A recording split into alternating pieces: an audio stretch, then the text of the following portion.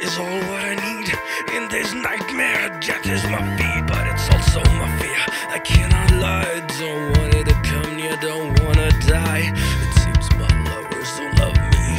Just when I could stand up, they cut off my knees, and maybe they do, and it belies their actions. Everyone says cut me, cut me into fractions.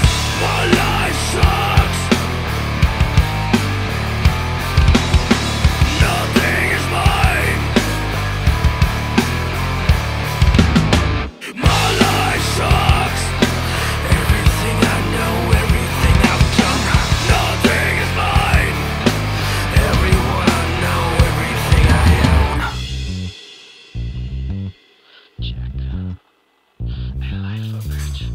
I will life.